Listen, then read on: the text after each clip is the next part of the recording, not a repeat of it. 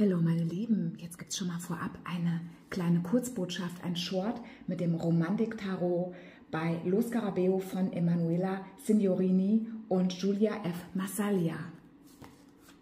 Um wen geht es hier? Um dich oder um jemanden?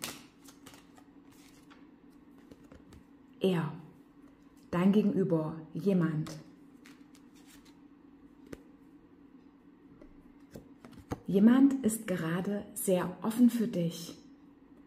Jemand heißt dich willkommen und jemand geht einen Weg mit dir.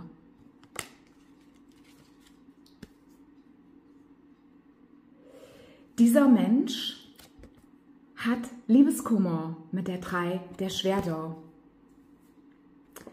und er hält das Licht jetzt hoch. Es kann also sein, dass jemand sich neu für dich öffnet.